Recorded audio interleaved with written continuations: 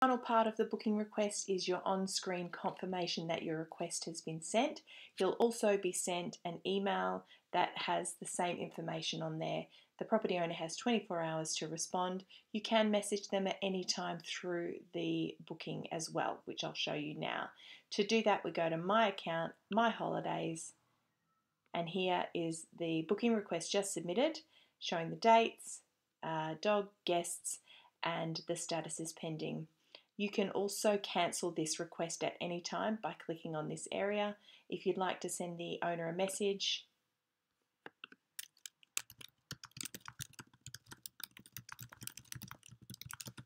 that can be done here.